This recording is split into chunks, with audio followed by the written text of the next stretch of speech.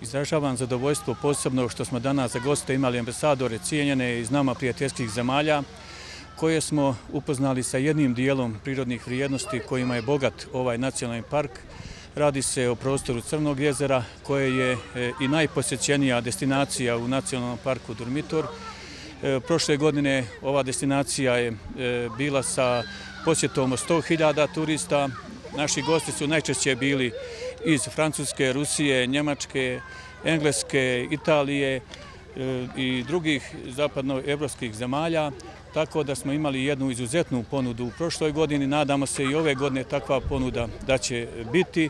E, koristimo ovu priliku da ambasadori upoznamo i sa našim aktivnostima, kako petogodišnjim, tako i jednogodišnjim, koje želimo da realizujemo.